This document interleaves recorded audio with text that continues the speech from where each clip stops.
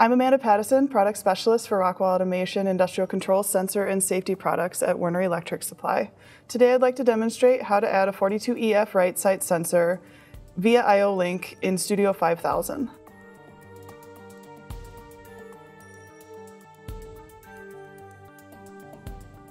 I have a project built already in Studio 5000 that I added this 1732E 8 IOL M12R, which is the IO-Link master module, the on-machine version for Rockwell. I'm gonna right click and click on properties.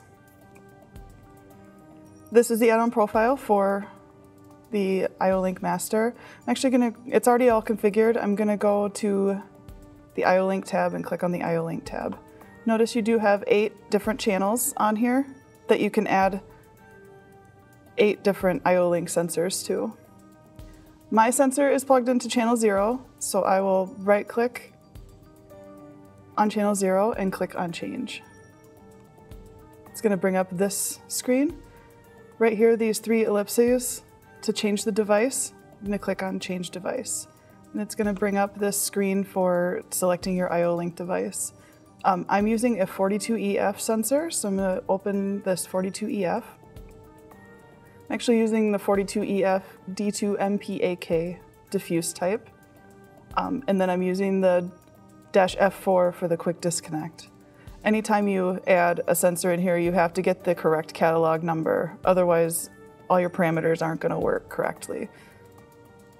Um, so I'll highlight the D2MPAK-F4 and click on create.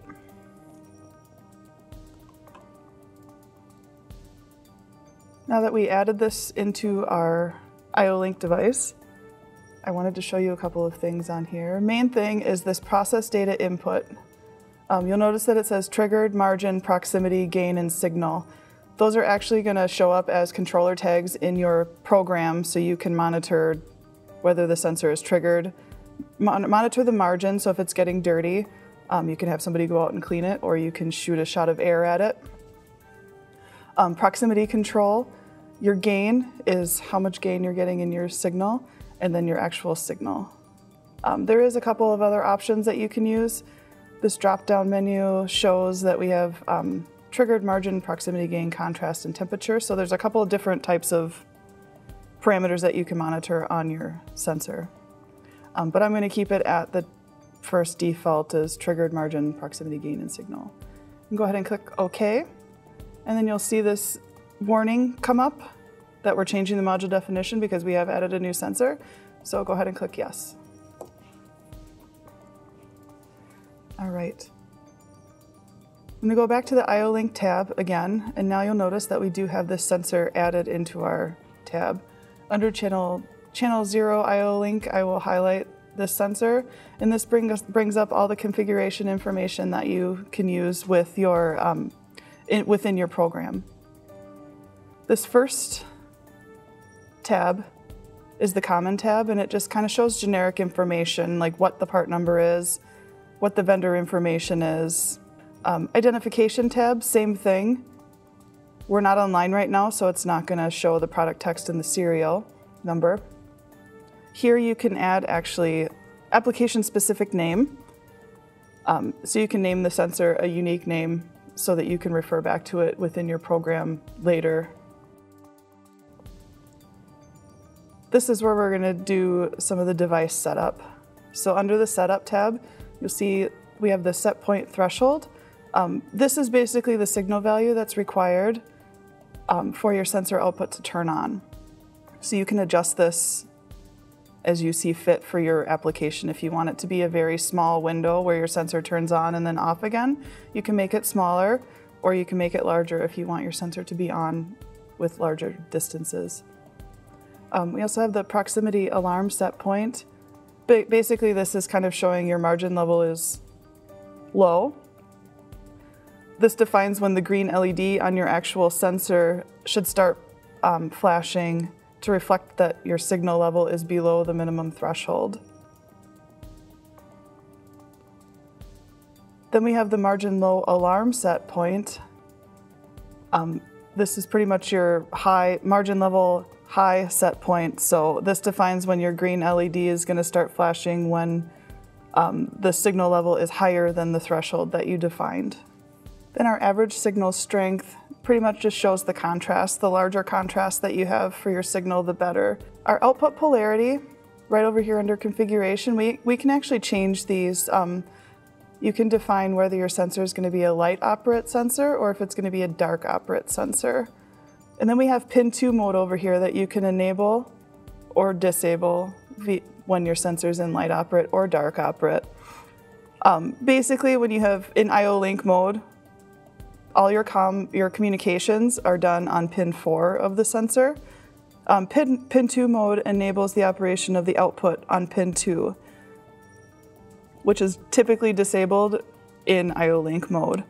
Um, this is used for applications where response time is extremely critical um, and the IO link response time might not be fast enough, i.e. like motion applications where you need that for overshoot or something like that, where you need that signal and you need to know it, it's right there. I'm gonna go ahead and hit apply and then okay, and then I'm gonna go online and download our configuration right now.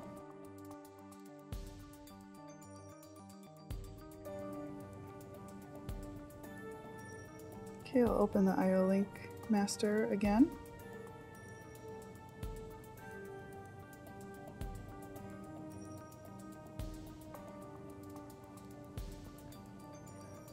Go back to the configuration.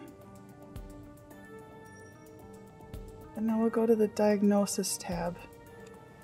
Diagnosis tab basically gives you device status. So it says, okay, our device is operating properly. Um, there's, there's been no malfunction, so there's a last event right up here, no malfunction, and then zero error counts. One cool feature that I wanted to point out when you use a 42EF RightSight with a Rockwell master module using a Rockwell control system um, is the locator indicator. Basically, when you click on locator indicator, it activates um, and flashes the LEDs of the actual sensor. So it's really good for like maintenance mode where most, most machines don't have one sensor on it. They have multiple sensors on it. So if one of the, one of the sensors needs maintenance, you can actually send a signal to the sensor to start flashing out on the machine so that a maintenance person can actually find the sensor on the machine instead of running around trying to figure out which one is sensor one, level two, or something like that. So I wanted to demonstrate that, so I'm going to demonstrate that right now. So you just click on the locator indicator and click on apply. And then we'll apply the changes.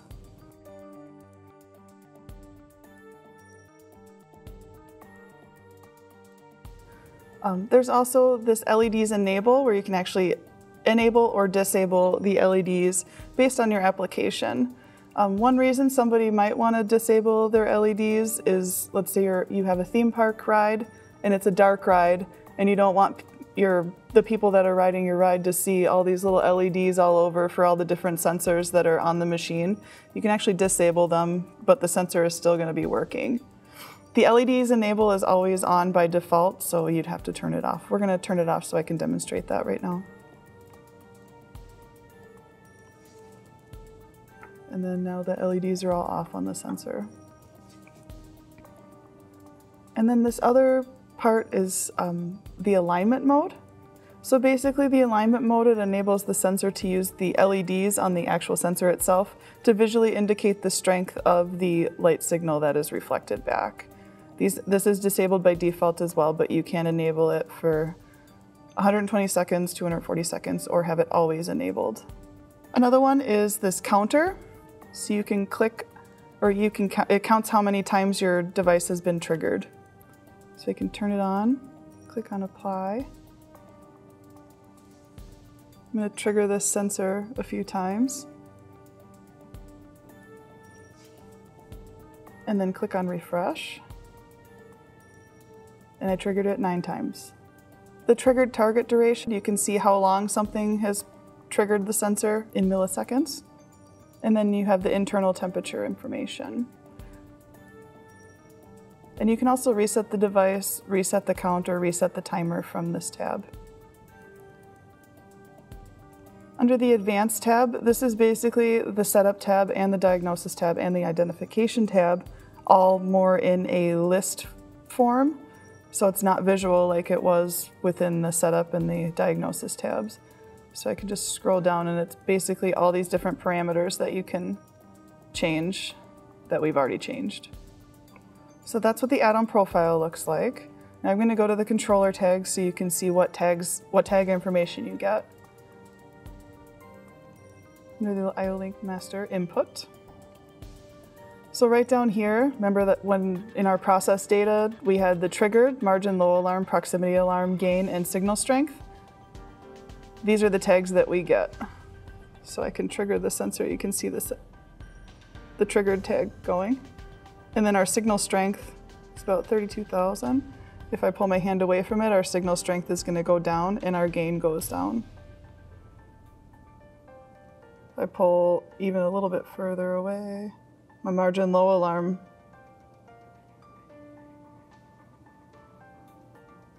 just went on. If you'd like more information about using IO-Link in your applications, please contact your local Werner Electric Supply representative.